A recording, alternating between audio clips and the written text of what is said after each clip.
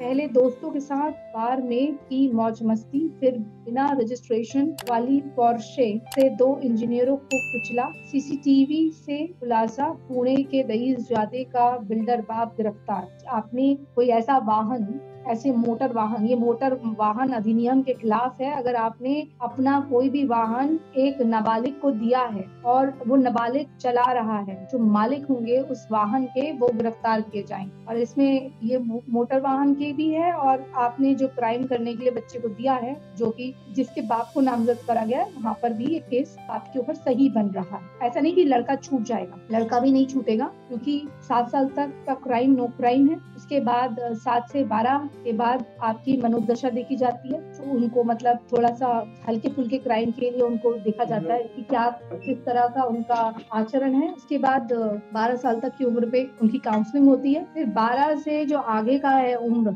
17 तो अब वो एक क्राइटेरिया बन गया है कि आपकी मनोदशा चेक करी जाएगी। अगर आपकी मनोदशा चेक करी गई और आप क्रिमिनल निकले, आपकी दिमागी उम्र ज़्यादा निकली आपसे कुछ प्रश्न पूछे जाते हैं कि आपका साइकोलॉजिस्ट जो होता है, मनोचिकित्सक जो है, वो आपका सेशन करते हैं और जब पता चल जाता है कि आपको अपनी उम्र से, हमारे पहाड़ी में बोलते जमन से कम आपको बहुत अक्ल है ओवर ज़्यादा अक्ल है तो आपको सजा जो है डल्ट के रूप में ही दी जाती है। आपका बच निकलना बिल्कुल नामुमकिन है, आप पहले जैसा नहीं है। हाँ बस सात साल तक का बच्चा है तो इस क्राइम इज़ नो क्राइम है, ठीक है? बाकी सब है।